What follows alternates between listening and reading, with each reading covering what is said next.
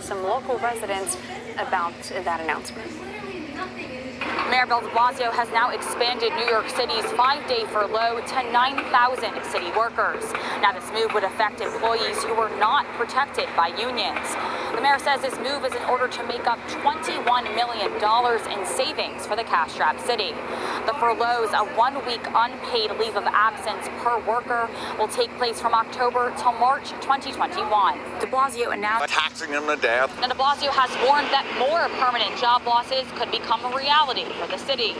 He has frequently said that 22,000 city jobs are on the line and could face cuts as early as next month.